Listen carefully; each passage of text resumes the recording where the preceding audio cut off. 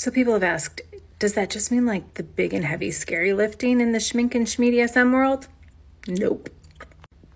We're covering everything from like the 101 stuff to the heavy duty lifting because why not, right? As for the book signing, the authors you're going to see there are just spicy romance authors. There's no requirement that any of that needs to be in their books.